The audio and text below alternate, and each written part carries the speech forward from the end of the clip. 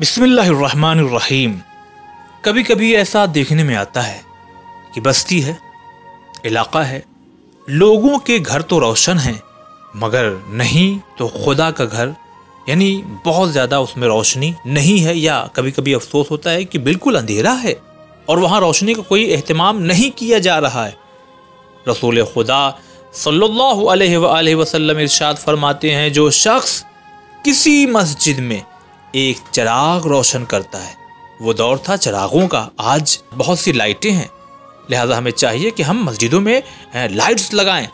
फरमाते हैं, जो शख्स किसी मस्जिद में एक चिराग रोशन करता है, जब तक वो चिराग मस्जिद में रोशनी करता रहता है, फरिश्ते और हामिलान अर्श, उस शख्स के लिए दुआए मगफरत करते हैं। जी हाँ अगर मस्जिद में रोशनी का इंतज़ाम हम कर रहे हैं आपने एक बल्ब लगाया, एक ट्यूबलाइट लगाई। जब तक उसकी रोशनी रहेगी, फरिश्ते आपके लिए इस्तफार करते रहेंगे। लिहाजा हमें चाहिए कि हम जहाँ भी हों, अगर देखें कि मस्जिद में बल्ब की ज़रूरत है, यानी रोशनी की ज़रूरत है किसी भी तरह से तो हमें चाहिए कि हम अपनी जेब से, ये ना कि चंदा लगाया जाए छोटी छोटी चीज़ों पर, अगर हम कर सकते हैं तो अपनी जेब से खुदा का घर है।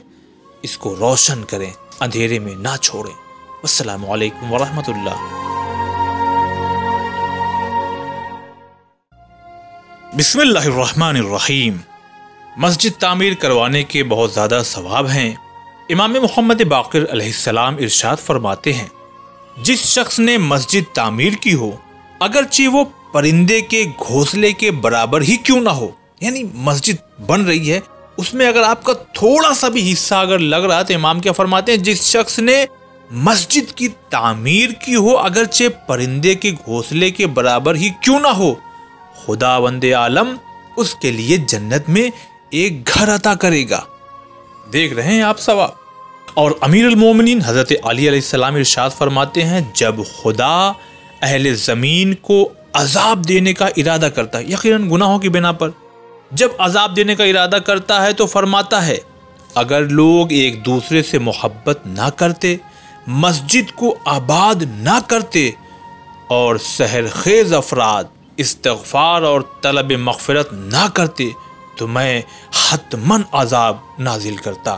तो एक तरफ़ मस्जिद बनाने का ये सवाब है, वहीं दूसरी तरफ़ उसको आबाद रखने, मस्जिद में आने जाने इस्तफ़ार नमाज़ वगैरह करने से अल्लाह अपने अजाब को भी रोक लेता है। असलकम वरहमतुल्लाह।